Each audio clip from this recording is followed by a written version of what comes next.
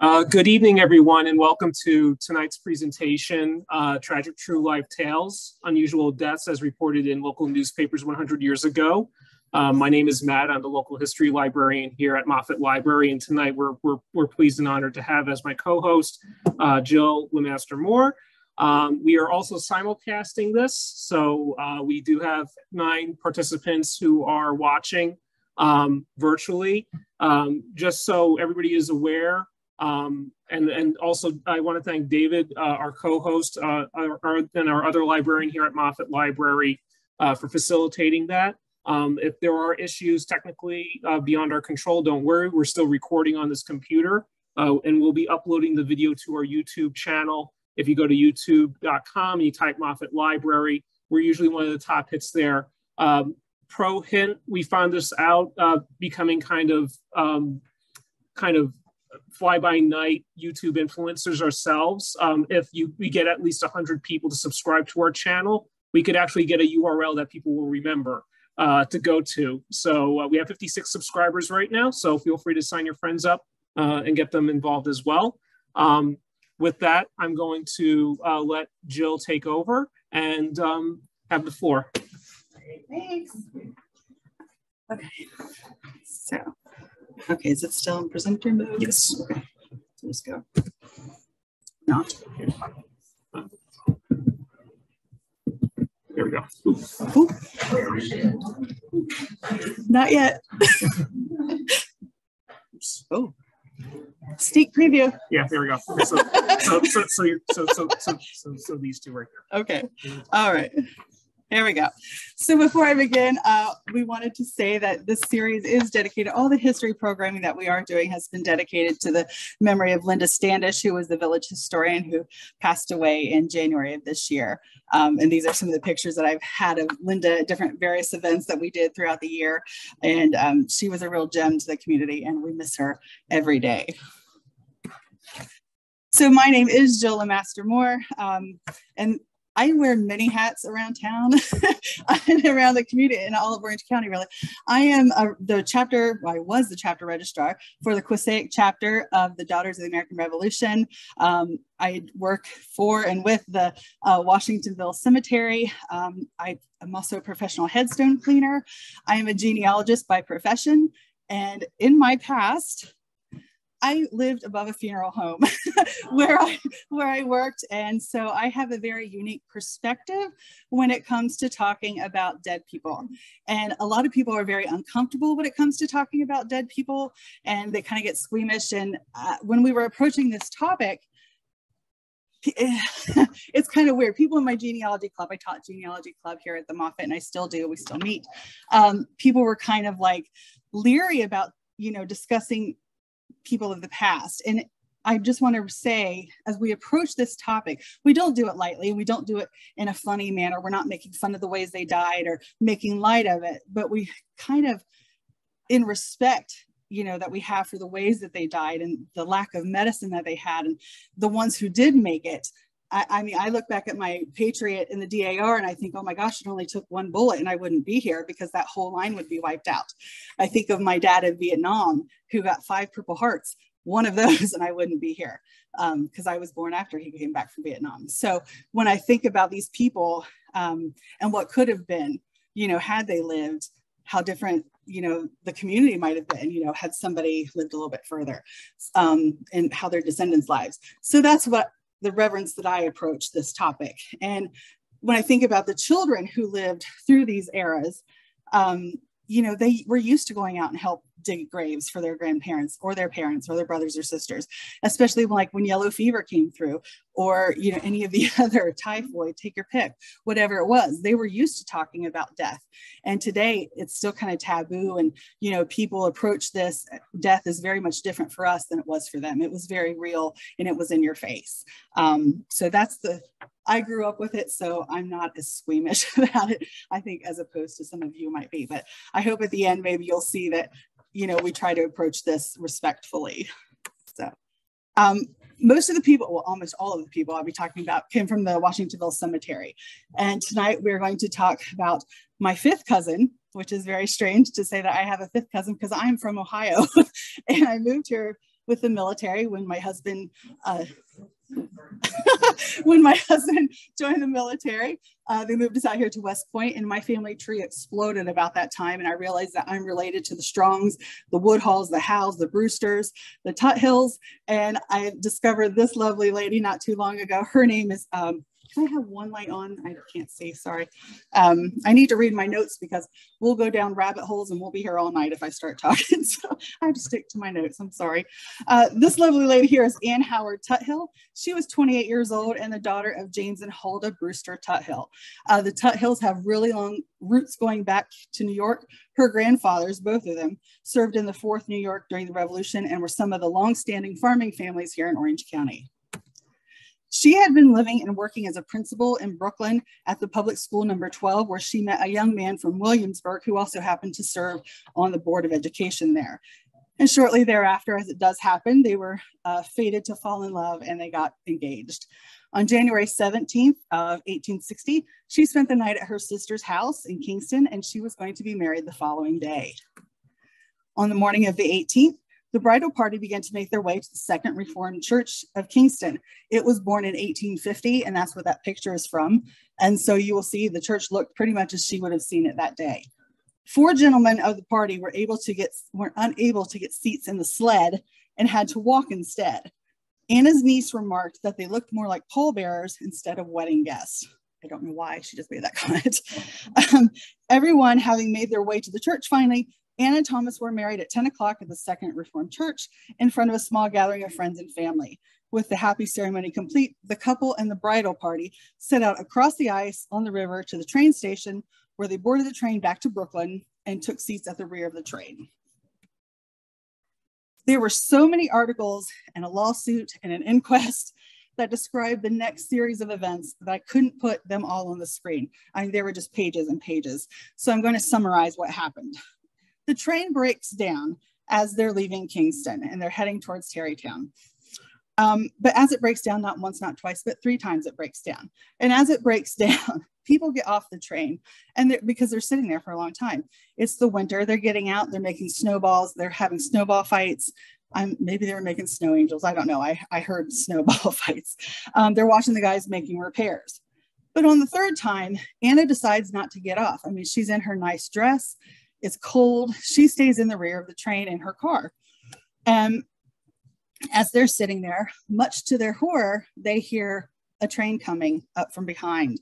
And before they know it, the train barrels down and hits the back of the train, taking Anna with it. The train car splinters and Anna goes flying forward, stuck to the boiler of the train. And when I say that she is stuck to the boiler, I mean it. She's pinned there. Her dress melts and her skin melts to the boiler of the train. Thomas and her friends rush to find her when the train finally comes to a stop. They're pulling the debris off and they find her. Both of her legs are badly broken and her dress, like I said, is melted. They had to cut her free from the boiler. She's somehow still alive.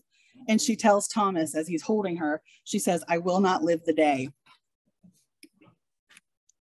Luckily for Thomas and Anne, the locomotive of their train at the far at the far end was undamaged, as was some of the front cars. They put the injured people, because there were several other who's who were injured but still alive. Um, they put those in the front cars and they took them to the next stop on the rail line, which was Yonkers. And they took Anna to the Gomez house, which is pictured here, and they called for the doctor. Um, she breathed her last breath around seven o'clock. So literally, she was married and dead on the same day and it says that on her head to, on her tombstone there it says married and dead. So um, thomas for his part was just totally bereft and he sued the railroad company and won his case. Um, but he had a real hard time of it. The lawyers for the railroad company tried to argue that his case should be dismissed because he truly wasn't her next of kin as they hadn't been married long enough and the judge dismissed it and said that's basically bullcrap because they were married that morning. Um, so Thomas did win $3,700, which would be the equivalent of $132,000 today. So, all right, so that's the poor tale of Anne. um, and while this, Im this image I find very funny, um, not because it, but, but, I find it very funny because these women they're making fun of in the London newspapers uh, because of the impossibly large dresses that these women would wear to balls. And I'm sure you've seen it in different movies and stuff like that. These women wear these huge dresses and have to go sideways through the doors. Um, but it belies another deadly issue as well. Hidden beneath those dresses were layers of deadly crinoline and netting, which were highly flammable and would go up quickly if they caught fire. And it gave people little time to react at all. And this is another famous couple of images here. Um, as gas lights were placed low um, on stage to illuminate the dancers' legs, ballerinas' legs, um, for better viewing if you were out in the crowd because it lit up their legs. You know, they would wear the tights and it would kind of make them glow. Uh, ballerinas were especially susceptible to catching fire, and it did happen. The lady on the right here is Emma Livry and she was a well-known French ballerina who died of severe burns when her dress caught fire on stage. And she ran back and forth three times before they were able to catch her and put her out. And because she was, she was French, she was very modest, she clutched her burning dress to her chest and actually exacerbated the burns on her chest. And she lived, she lived for a couple months and she lingered and um, she died, her wounds went septic and she died at the age of 20. So she was a very famous um, ballerina for that. But the image on the left is probably even more horrible, if you can imagine that. Um, there were seven dancers that were killed when one dancer caught fire and it spread to the other dancers' dresses because she was running around in a panic. This was in the dressing room of the Continental Theater in Philadelphia in 1861. That's to tell you how dangerous these dresses and crinoline could be. And so we move to my next person at the cemetery. If you were at the cemetery tour that we just did as part of Witchingtonville, you might have met Joanna. Um, she was one of our stops. And she is also my fifth cousin. um, and she was also a member of the uh, DAR. Joanna B. Howe, while not a ballerina, um, suffered a similar fate to the ballerinas, though, in August of 1930. Joanna was 69 years old and the last of her line.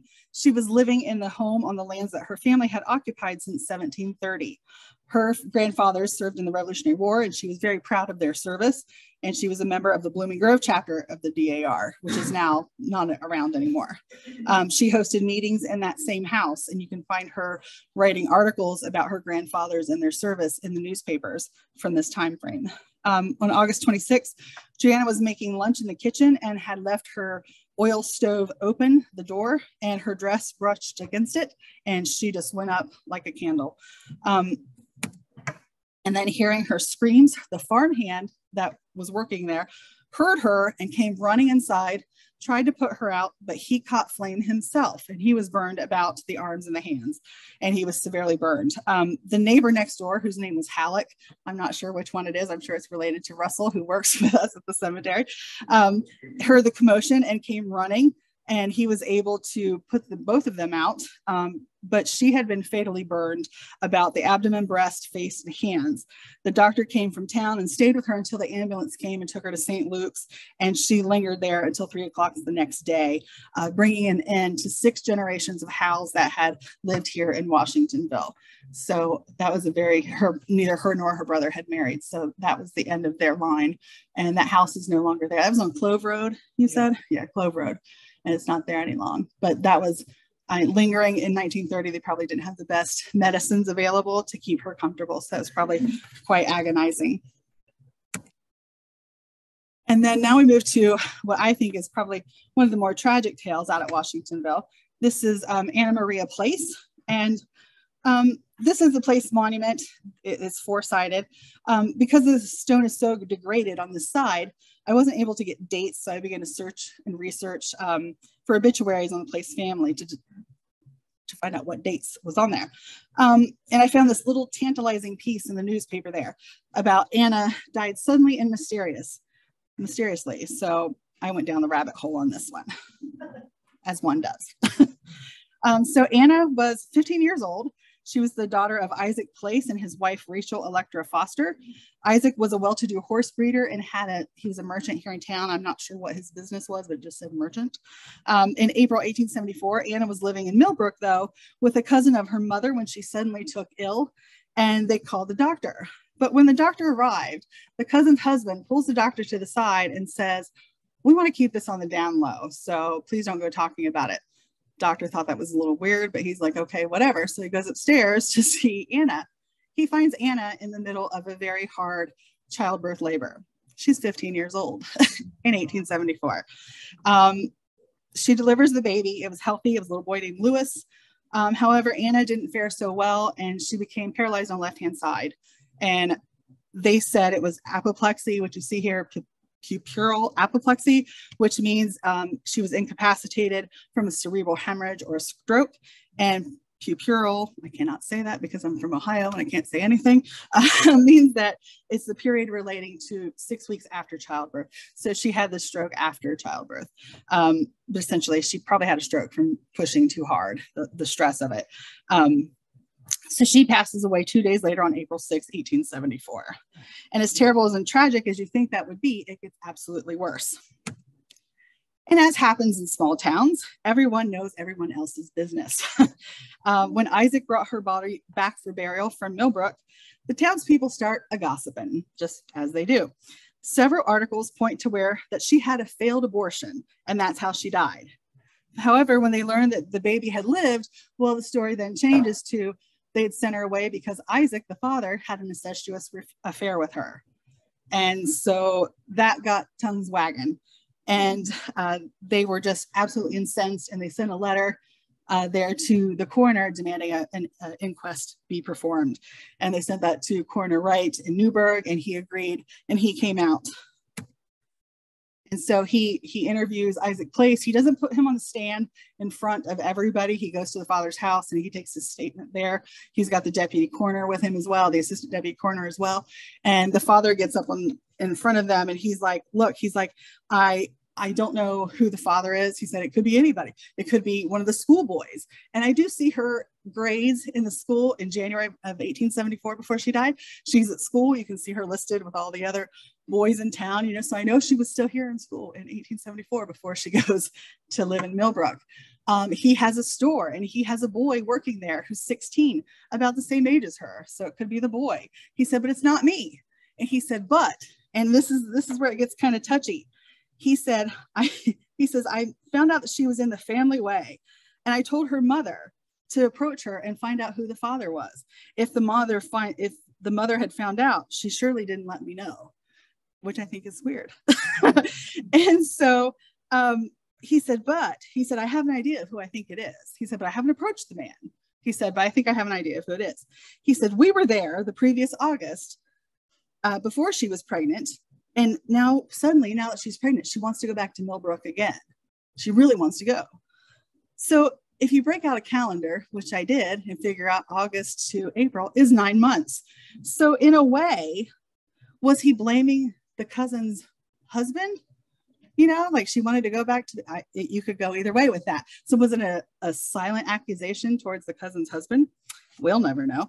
Uh, but in any event uh, the the father isaac was cleared because there was no proof at all but his and Anna's reputation was completely smeared in the eyes of the public. And um, Isaac did end up raising her son. His name was Lewis, and he's buried out there with them at the cemetery. He lived to a ripe old age of like 65, so he had a full life, but he didn't stay here in town. He he lived he lived in, a, in New Jersey, so I can't blame him for moving if everybody was talking about your family and your mother. So let me flip my page here. So now we're going to talk about the tale of John Brooks. And it's one that I'm still trying to unravel at the cemetery. If you were at the tour or if you heard about the tour, this is another stop that we made as well. Um, this story is very long, so I'm going to summarize it because there's just page and page and page and page of documents. Um, you'll notice this monument says captain, but all the articles that I'm going to show you say colonel. I have yet to even find one military document for him, but they say he worked he was in the war of 1812. I can't prove that yet. Just another mystery for my pile when I'm bored. But um, anyways, the Brooke family were cattle and horse people, and Jonathan was described in many articles as a drover, meaning someone who drives cattle or sheep, or you know, he he drives them, he moves them. So that might explain why he was in Mount Pleasant, Pennsylvania, when he was murdered in eight, June of 1828. Reportedly, Jonathan was on his way to purchase some cattle, and he comes across a small town on his route, and he stops for a bit, going into a few shops and businesses while he's there. He meets a vagrant named Truman Matthews who basically decides that he's going to rob Jonathan. So he comes up with this plan. He asks Jonathan for a ride, And Jonathan, being a generally, you know, nice fellow, he's like 52 years old, probably pretty trusting about this time because they don't really have murderers around. You know, I mean, Washingtonville surely doesn't have a lot of murders in, in that time frame. Um, he's like, sure, yeah, hop in my hop in my wagon. We're gonna take a ride. So as they're about a mile out of town, the vagrant pretends that something is wrong with the wheel of the wagon, and Jonathan stops. Well, as soon as Jonathan gets out and starts looking at the wheel, the guy clubs him over the head with a rock and he bashes him so ferociously, so many times over the head and the face, they could not identify Jonathan by his face. He was so mangled. He was he was mutilated.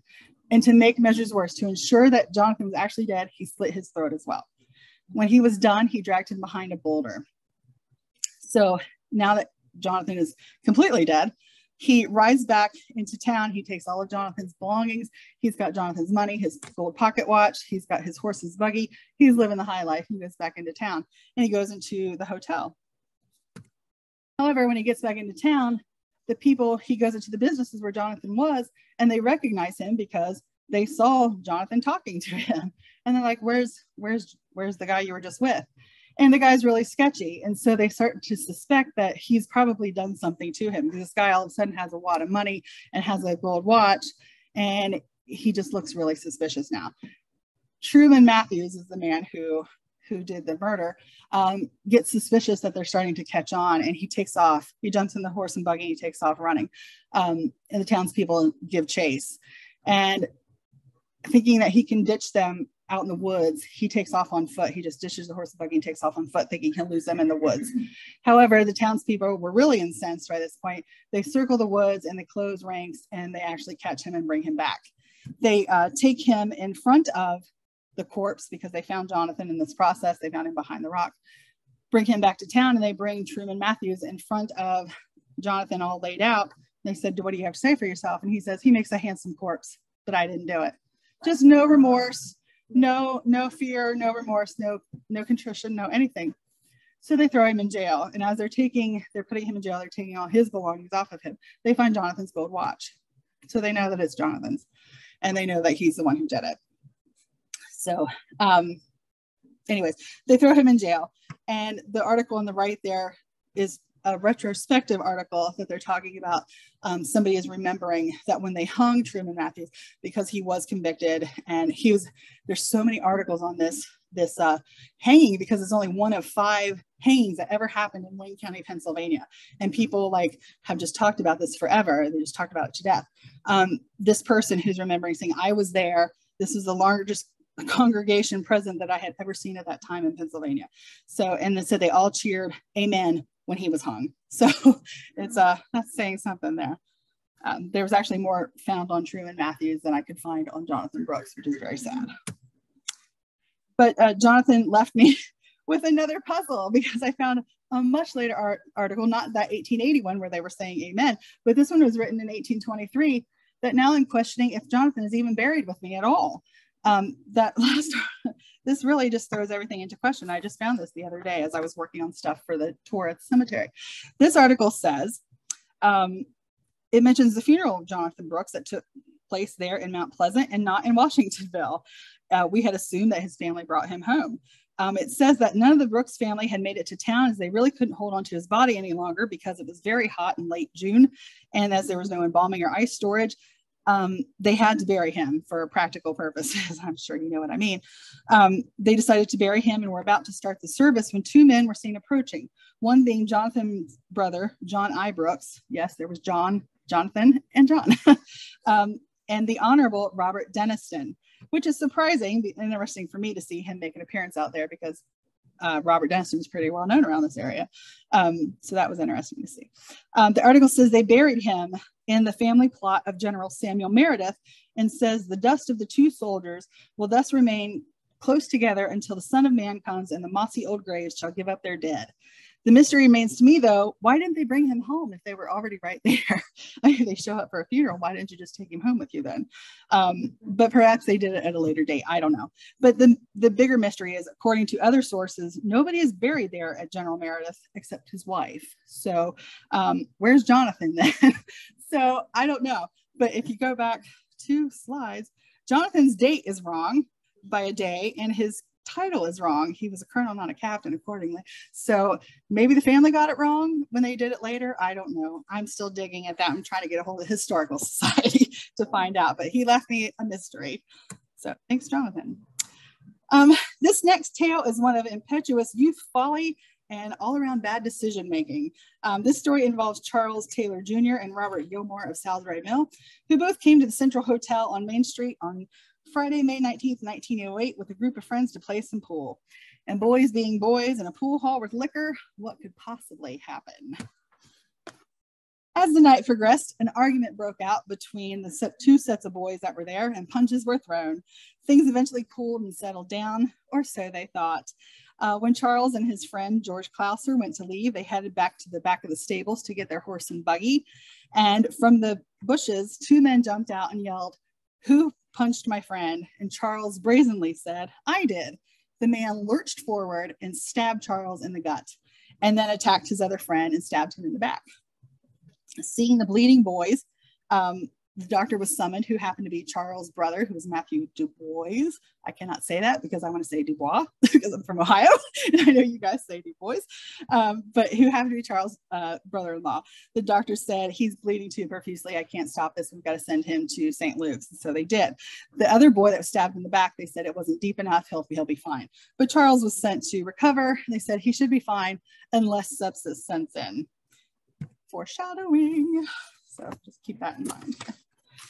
Anyhow, the attackers took off running, but uh, the patrons heard the commotion and took off after them. They were able to restrain them and they, they called for the constable and he came.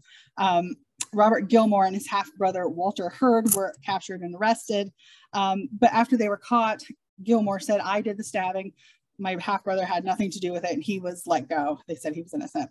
Uh, Gilmore was held. He was charged with first degree assault and he went before the judge telling the tale that Charles had actually kicked him and that started the fight at the hotel. The judge made the comment, and you see it on the right hand side there go to trial and fight for your liberty. The jury may find you not guilty if what I hear of your case is true. So just keep in mind that Charles, all this time, is resting in the hospital. And early on, it had said that Charles he was comfortable and the favorable, the outlook was favorable. But then suddenly on day 13, things take a dramatic turn for the worse. And then on day 14, they're like, it, his recovery is doubtful. So things start to really change. And on day 21, Charles did die from his wounds at St. Luke's. And Robert Gilmore was probably sitting in jail wondering what that meant for his future because that's not assault at that point. Um, Charles was buried a few days later in a rather large service at our cemetery. He was a member of several large fraternities that came out and performed honors on his grave. And so I wondered, what about Bob? Because he, he actually went by Bob, not Robert. um, so um, I wondered about his fate. So um, astoundingly, he must have felt some really bad guilt because he sat in jail all this time and did not ask for bail the whole entire time. He could have, he could have requested it. They could have denied him, but he didn't even ask for it. So he must have felt some kind of guilt for what happened to Charles. Um, but when Charles passed away, the newspapers printed an article that said that he would likely have that charge changed to homicide. And in early June, it was decided by the district attorney that they would just leave it up to the October grand jury to reindict him for manslaughter, in which it did. And that was reported on November 11th. So Robert was eventually sentenced to the Elmira Reformatory, which was the first reformatory in the United States. And if you've ever done any research into prisons in the United States and especially within New York City or New York State, you'll know that uh, Elmira was full of all kinds of scandals and hideous abuse and uh, controversies. And Robert likely had a very, very hard time of it there. Um, both families suffered terribly in this tale. The Taylors lost their son, but the Gilmores probably likely never got the son back that they once knew before once he got released. So when you're at cemeteries in Cape Cod, and other seafaring areas, um, you expect to see headstones like these that say lost at sea or shipwrecked, um, but you never expect to see them in the middle, middle of Washingtonville per se, would you?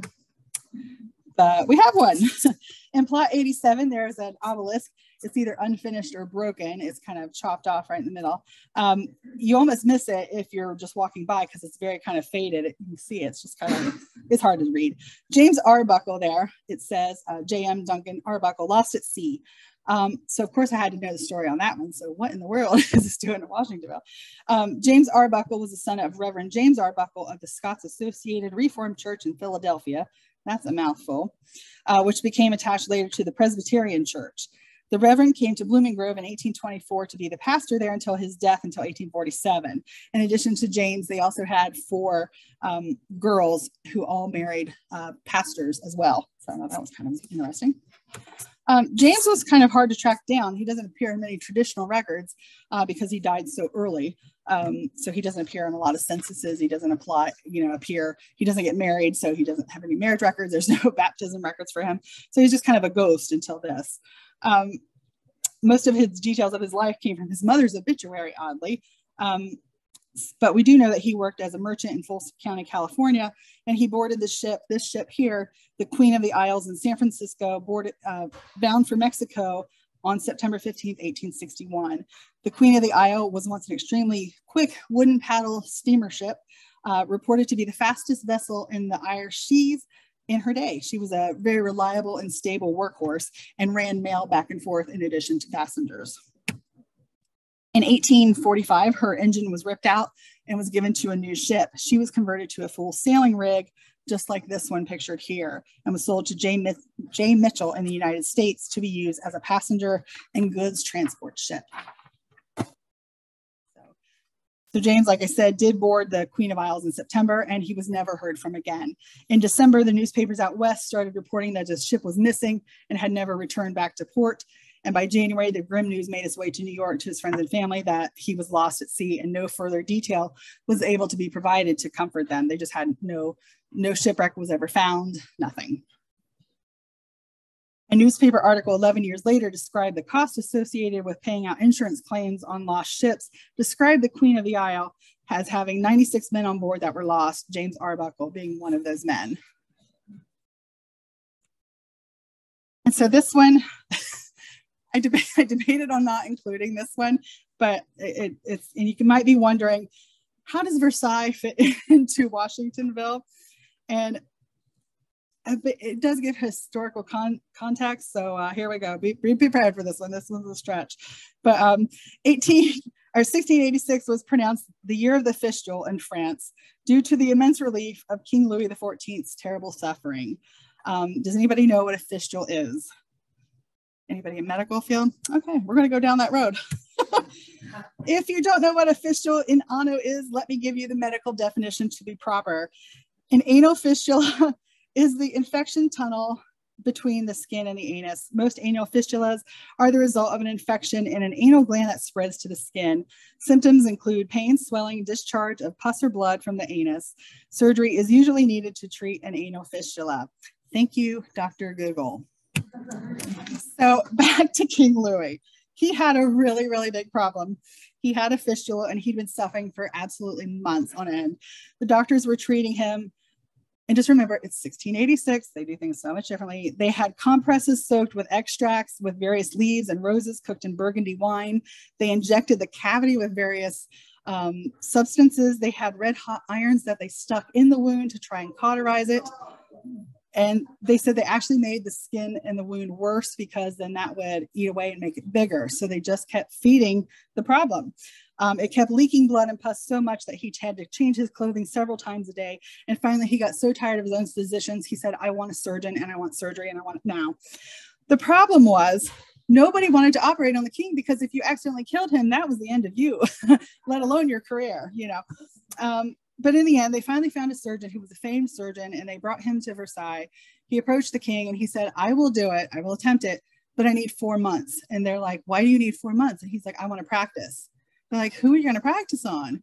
He went to the insane asylums because who was there? Vagrants. He went to the jail. Who were there? Vagrants, people nobody wanted. And he found people who had wounds similar to the king and he operated on them and all the time not successful. So he practiced and he practiced for four months. He made a special scapula. And if you go to the Versailles website, you can actually see the scapula that was used on King Louis. So he comes back. Uh, he comes back and the, the doctor was successful and he he was able to remove that and, and within two months louis was back in the saddle again quite literally riding again and um, back to his good thing but they called it the year of the fistula because after he was successful, he was given all these awards and given all this money. He was given a land and he got all these, you know, laurels from the king. Well, the people at Versailles all of a sudden had all kinds of butt problems and they couldn't wait to show the good doctor their backside. He was actually turning people away. And he's like, you know, we, that's why they call it the year of the fistule. So what does that have to do with Washingtonville? You might be wondering, and I'm getting there, I promise you. Um, while filling out the VA application for Corporal Z Zeno Van Dusenberry, I had to order his pension file from the National Archives. And in it, he describes and provides documentation onto why and how he was injured. And in this case, it says fistula in ano it, by, a, by injury of a fall near Falmouth, uh, Virginia on December 1st, 1862.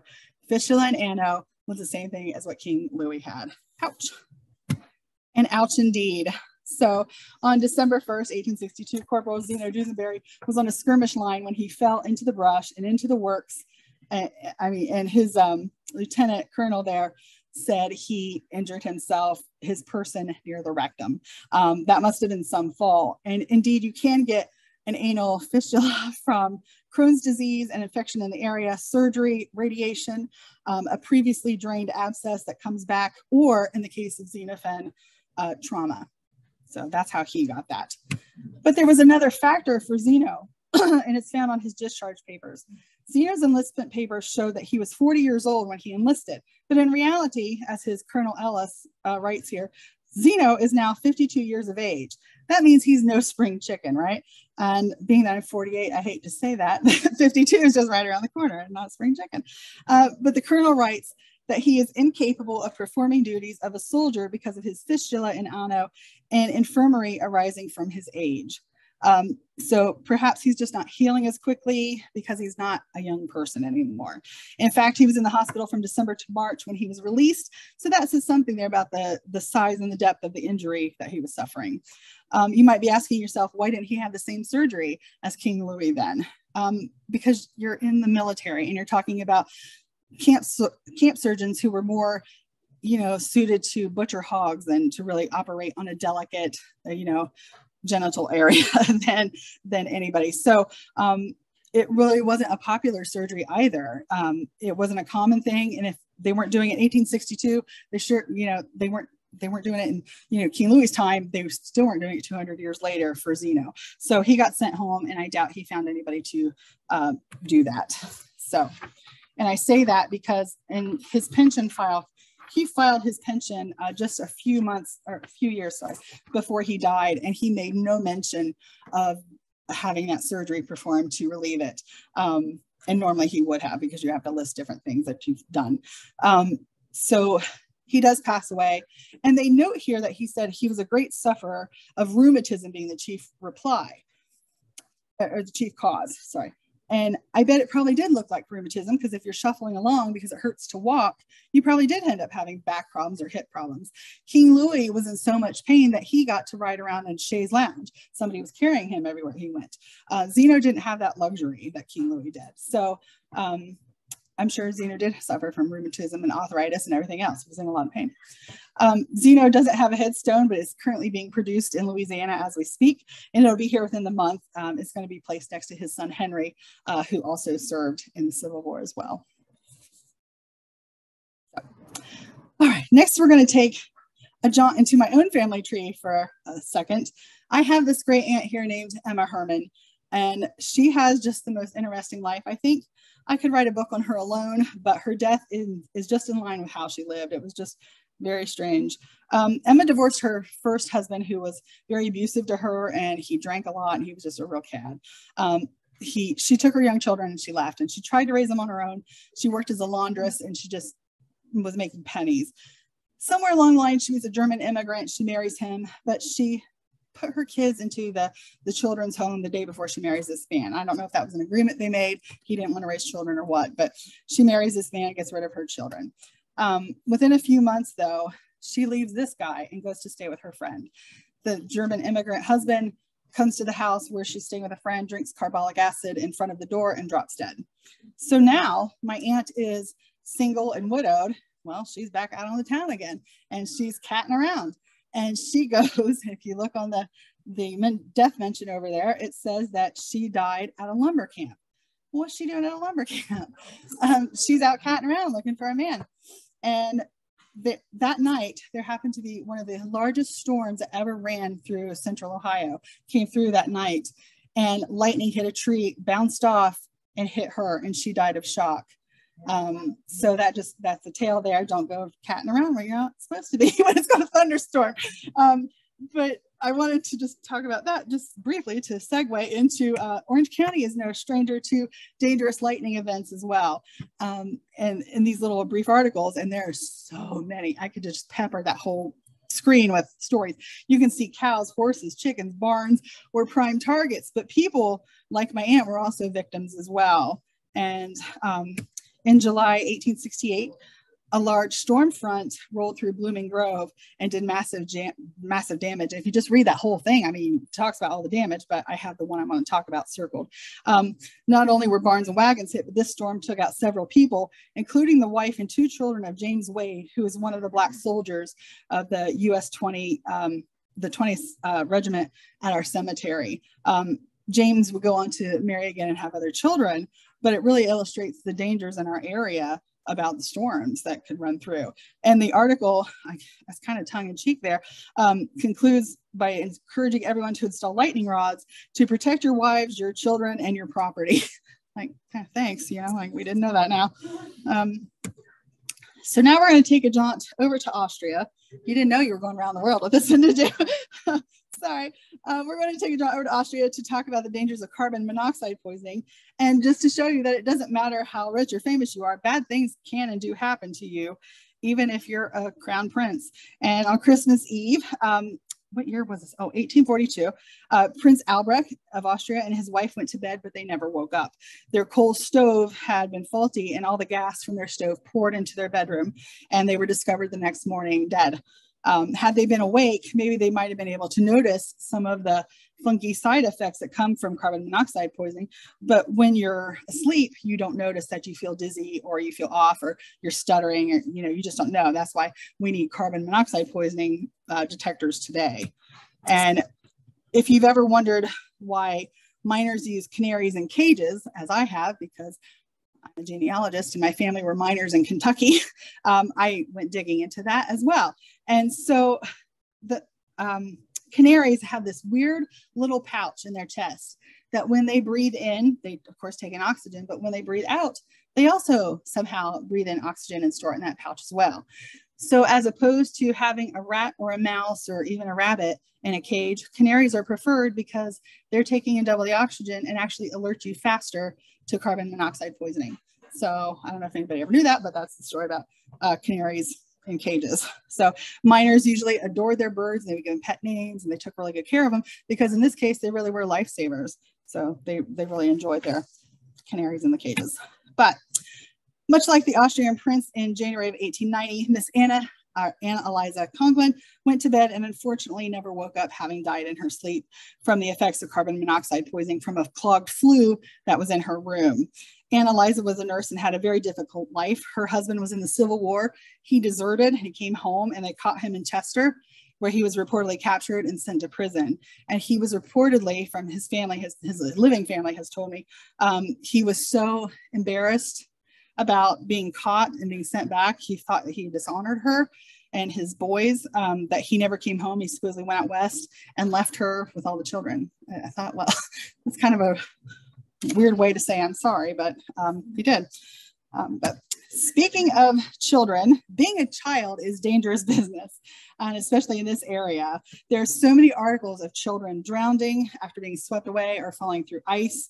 Um, there was one that happened behind the cemetery. There was a child who's flipped through the ice going home from school, thought he could skip across it, didn't, and he was swept away. Um, there are multiple farm accidents and children trying to jump on trains. One of the kids lost their leg trying to jump on a train. The kids are just, being a kid in this area was very dangerous. And um, prior to living in the funeral home, in my younger years, I we lived out in the country and we had a very steep hill and we used to go sledding all the time. And I never thought for a minute, about sliding into the neighbor across from us, his field had a barbed wire fence. It never even crossed my mind that I might get tangled up in that fence or we crossed the road, you know, with a car gonna come and hit us and just never, never crossed my mind. But now that I have a six-year-old granddaughter, I think about these things. I'm like, oh no, don't do that. You know, your mind as a kid, you just don't think about these things. Um, and I worry about these things. But this tragic childhood tale I'm about to tell you is one that just breaks your heart into a million pieces because you can't imagine what these parents went through. Um, at least I don't. So uh, here's the here's the little tiny blurb, but it gets much worse. So Edward David was Edward Davis, sorry, was 14 years old and the son of Dr. Edward and Leona Davis. And this little article, you think, oh, how terrible. He was sledding and having some accident. No, no, no, it gets much worse. So Edward had broken his neck 12 years earlier. So when he was at two, and on New Year's Eve, he somehow broke his accident and um, broke his neck in that accident. And he had been unable to speak since that accident. And for the most part, he went deaf as well. Um, his parents said he was just starting to get his hearing back when the sledding accident happened. Um, and if that's not enough, on the day of his death, Edward was with his friends and they were sliding, and he goes down first. And as he's nearing the end of this really steep slope, his sled turns sideways and he slows down. His friend that had launched behind him was going straight and was picking up speed and crashed into it. So Edward's sideways, and this guy comes and plows sideways uh, right into the side of him. Edward goes tumbling and lands into a, and ends up in the yard. And so they all go rushing over to Edward to see it. And he looks fine. They said, Oh, he's just got like, you know, bruise on his leg. He's got a couple of cuts on his face from the snow but he's he's like out. They couldn't wake him up. They're shaking him like Edward, wake up, wake up. Can't wake him up. So his dad's a doctor, so they run to the house to get the dad. Dad comes back and he can't wake him up either. He had died from a heart attack. Basically, his heart quit from shock. So here's your son who's went through all that stuff, broke his neck, lost his hearing, can't speak, and now he's in just this stupid childhood accident, and now he's dead. So that is that's just a terrible, terrible tale. And that was right here uh, down the road. So my final tale for tonight, before I turn it over to, to Matt, is a very short one and to the point. Um, there really isn't much to reveal here as it's just very straightforward, but it's shocking all the same. Uh, Mr. George Ashley was walking home and it's just past 1030 at night. And so it's dark and he stumbled and he fell into an open well somewhere past the train depot and down the tracks a little bit. Why is there an open hole that has a well? Why did they put rocks around? I don't know. Um, but he fell into this open well. Someone later comes along to get water and they see feet bobbing in the water. So he had fell, fallen head first into the water. So the coroner was called because when they pulled him out, he had all kinds of cuts and scrapes above his head. And they thought somebody had maybe done something bad to him and that was murder. So um, the coroner ruled it an accidental drowning, but the whole town got into a great big tizzy and demanded another inquest. And but they said it was an accidental death. So, but that is that's quite shocking, I think, for this area. So that is my time, but I do have one more little slide. If you want to find out more about the cemetery and our history and more of the inhabitants' stories, I do blog about them. Um, we have upcoming programming and we have volunteer opportunities. You can find out more about us uh, right there. We have Facebook as well. And with that, I'm going to turn it over to Matt. Sorry.